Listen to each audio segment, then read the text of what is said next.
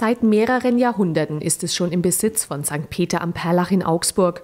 Lange Zeit war es jedoch verräumt in den Archiven, völlig in Vergessenheit geraten. Jetzt ist das äußerst berühmte und auch wertvolle Gemälde mit dem ursprünglichen Titel Salus Populi Romani wieder aufgetaucht und nun für die Öffentlichkeit zugänglich gemacht. Zu sehen ist Maria mit ihrem Sohn. Die Augsburger Kopie entstand, so die Schätzungen, um 1700. Der Künstler jedoch ist unbekannt. Das Besondere ist, dass es ganz wenige Kopien des Originalbildes äh, gibt. Das Originalbild ist eine Ikone. Aus welcher Zeit ist nicht bekannt, das in Maria Maggiore in Rom hängt. Und in Maria Maggiore ist ja die Bischofskirche des Bischofs von Rom, also des Papstes. Das heißt, wir haben damit mit diesem Bild eine intensive Verbindung zur Gesamtkirche.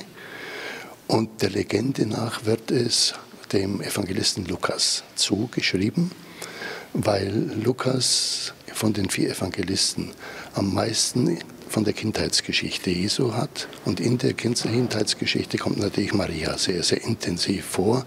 Und das ist nun die Querverbindung den Stein ins Rollen gebracht hat die Marienwallfahrt nach Eichstätt am vergangenen Wochenende. Dort stand die Darstellung der dreimal wunderbaren Mutter Gottes, ebenfalls eine Kopie des berühmten Marienbildes in Rom, einen Tag lang im Mittelpunkt. Sie stammt aus dem Ingolstädter Liebfrauenmünster.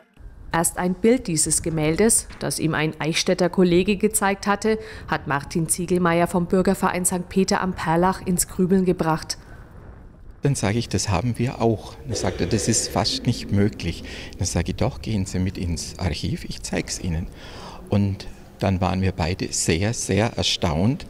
Erstens er, dass wir eine alte Kopie von 1700 haben und ich, was wir für einen Schatz haben und wir das gar nicht wussten. Im Verzeichnis, ich habe jetzt nochmal nachgeschaut, steht es einfach Madonna mit Kind und zwar von den ersten Inventarverzeichnissen. Also wir wissen auch nicht, wie es in die Kirche gekommen ist, das Bild. Es ist einfach immer schon da.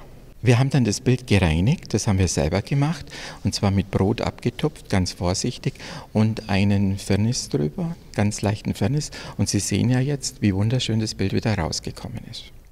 Das Mariengemälde in St. Peter am Perlach in Augsburg ist noch den ganzen Mai über im Altarraum ausgestellt. Danach soll es nur für kurze Zeit abgehängt werden. Derzeit wird die St. Felicitas-Kapelle in St. Peter am Perlach hergerichtet. Dort soll das berühmte Gemälde von Maria mit ihrem Sohn dann dauerhaft seinen Platz finden.